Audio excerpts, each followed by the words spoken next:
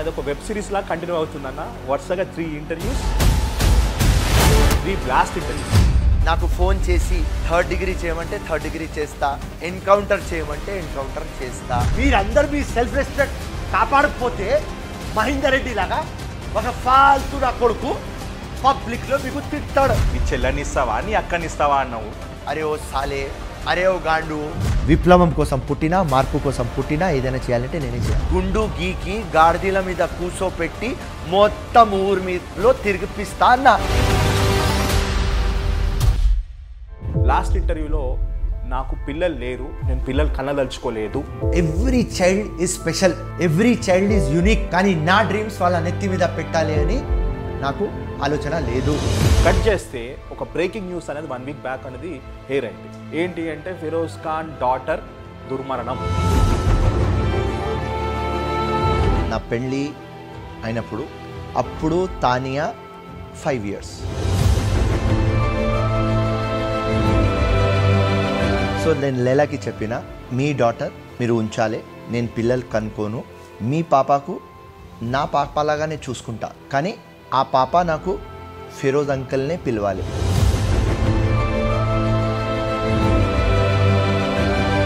ఈరోజు ఆ పాప చనిపోయింది. అన్ని social media print media electronic media. Feroz Khan daughter Feroz Khan daughter Feroz Khan daughter.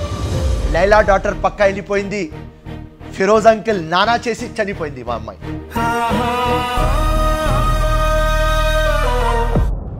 భార్యకి చెప్పినా ఏదైనా నాకు అయితే నేను చనిపోతే నువ్వు పెళ్ళి చేసుకోవాలి. మొగలు వంద పెళ్ళి చేసుకోవచ్చు. ఆడలు చేసుకోవద్దు.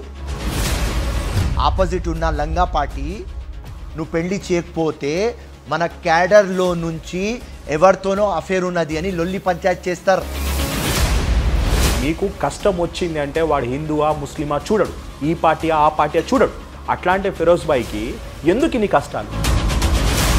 బోనాలకు పోతారు బోనం ఎత్తుతారు ఇటు చర్చ్కి పోతారు ఇటు మసీద్కి పోతారు అన్నీ పోతారు. కానీ ఎందుకు దేవుడు మీకు అన్యాయం చేస్తుందంటే? ఈ క్వశ్చన్కి ఆన్సర్ ఎవరు ఇవ్వలేరు రోహిత్. ఈ క్వశ్చన్కి ఆన్సర్ ఇవ్వాలి అంటే ఆ దేవుడు దిగి రావాలి. ఆ రోజు ఆ కార్ ఎప్పుడైతే నలుగురు వెళ్ళిరో దాంట్లో డ్రంక్ అండ్ డ్రైవ్ తోటి యాక్సిడెంట్ అయింది అని చెప్పేసి. వాడు ఫాల్తు నా కొడుకు వాడు ర్యాష్ డ్రైవింగ్. వీళ్ళు వద్దు వద్దు అంటే లే ఎయిర్పోర్ట్ దాకా పోయి వద్దామని మొత్తం స్పీడ్తో నడిపిస్తున్నాడు. అక్కడనే ఫైవ్ మినిట్స్లో on the spot she dead ఆ హాస్పిటల్లో కూడా చాలా హంగామా చేసినారన్న. స్ట్రెచ్చర్ని గుంజుకపోవడము వాళ్ళేమో హాస్పిటల్ వాళ్ళ డిపార్ట్మెంట్ ఇటు గుంజడం. అసలు ఏం జరిగిందని అసలు ఆ హాస్పిటల్లో అక్కడ మిర్జా కనిపిస్తూనే మిర్జాకి కొట్టడం మొదలుపెట్టినాను వాడు బెడ్ మీద ఉన్నాడు. కొడుతున్నా వాడికి ఇంటర్నల్ ఇంజరీస్ అయినాయి. ఈ మధ్య మునుగోడు కూడా పోలేదు కదన్నా? నేను నేను నాంపల్లి ఇన్ఛార్జ్ హైదరాబాద్ ఇన్ఛార్జ్ నాకు నల్గొండ ఏం పని? రేవంత్ రెడ్డి పిలిపిస్తే పోతా. పిలుస్తూనే పోతారు హండ్రెడ్ పర్సెంట్ పిలవాలి. మొన్న మునుగోడు సభలో అద్దంకి దయాకర్ గారు ఉంటే ఉండు లేకుంటే దెంగే అన్నాడు అన్న. ఎవరికైనా సెల్ఫ్ రెస్పెక్ట్ మోస్ట్ ఇంపార్టెంట్ పబ్లిక్లో ఒక పీసీసీ అధ్యక్షుడు రెండు సార్లు బహిరంగంగా క్షమాపణ చెప్పినాడు. రేవంత్ రెడ్డి వచ్చి తప్పు అయిపోయింది అని చెప్తున్నాడు అన్న నువ్వు పెద్ద హార్ట్ చేసి ఓకే డన్ నేను వచ్చేస్తాను.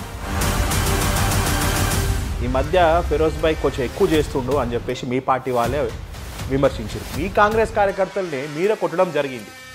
చాలా మంది తప్పు అన్నారు ఒక కైనటిన్ హోండా తెచ్చి దానికి మంట పెడతారు బస్ లోపల పోయి అద్దాలు ఇరగడానికి రైలు కొడతారు.